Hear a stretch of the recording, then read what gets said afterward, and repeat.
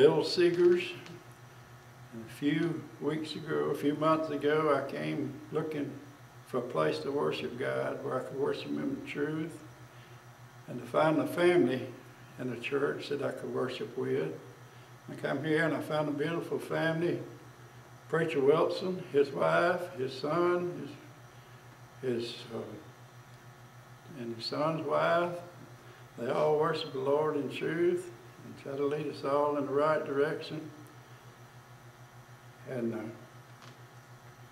25, 26 years ago, I was out wild in life, and the Lord came and told me He wanted me to preach. Standing on top of a mountain at Amicalola Falls, and, I argued with him and told him I was unworthy, I didn't know enough about His Word, and that I needed Him, and I needed needed Him to guide me and. Uh, and to teach me his ways and everything. That I'd start reading his book and I didn't understand, I'd lay it down.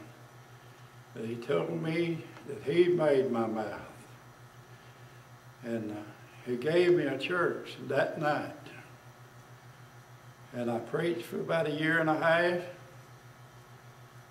And he told us, I'd read his scriptures and reading his word. He told me in his word, his promise was if I would walk with, Jesus said, if I'd walk with him and do the Father's works, he would save me and my house. And you know, within a year, I had seven children, and all of them was saved within a year. Because God did what he promised me he would do.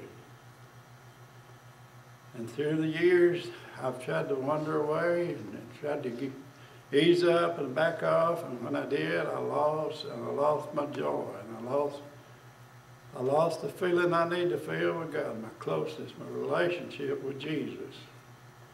And you know, then I came here, and He brought me back in again when I tried to wander away.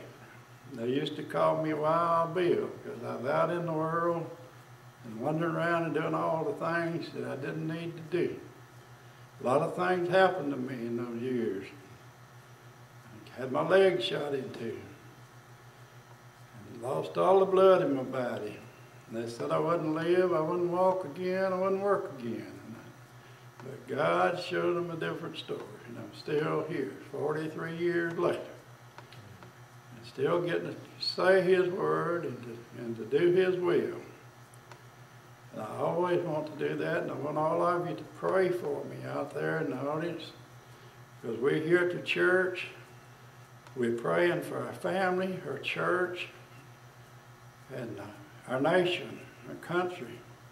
And we ask all of you to pray with us. We're forming a wall of prayer here in the church, and we want all of you to be included in that and help us with this so that God may reach out here and touch a lot of lost people out and touch the neighborhood here. We want to see it in our neighborhood. We want a better relationship in our neighborhood, better understanding. We want the people to see Jesus in us.